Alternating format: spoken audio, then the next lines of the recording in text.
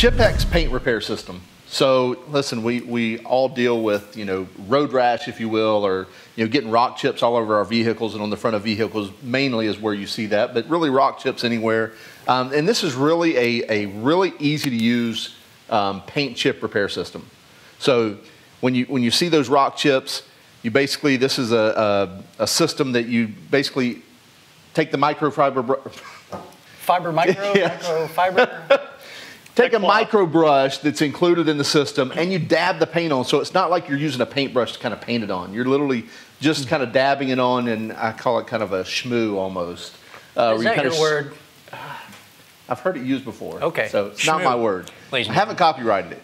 Uh, and then you basically dab it with your finger to kind of flatten it out. So you're kind of filling that void uh, with this paint, and then you let it sit a few minutes, and you come back with their, what they call is their blending solution and you're basically uh, it's like a solvent and you're wiping it level. And so you hmm. literally just gently wipe it over and levels out that and then you come back with some polish a few minutes later and it's done.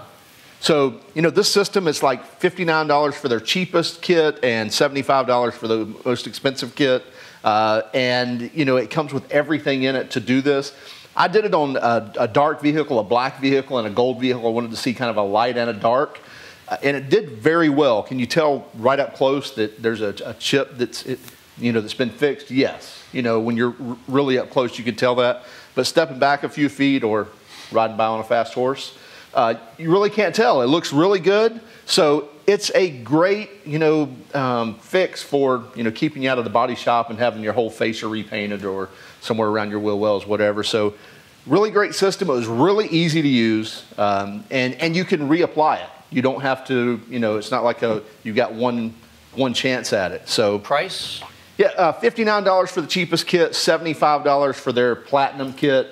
That's not a big swing there either. And I think there's like, there was a silver in the middle or a gold in the middle as well. So like a 59, a 65, and a 75.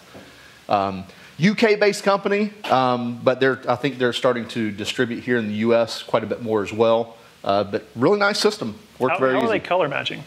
Yeah, great, great point. So literally, I put in the make and model of, of my vehicles, hmm. and they actually match the color identical. So I did, definitely did not see any color swing. I'd like to see it on red because red's kind of you know very tough to match reds, and there's so many different hmm. flavors of reds. Um, but I didn't have a red vehicle. But it, as far as the gold and the black, it matched very well.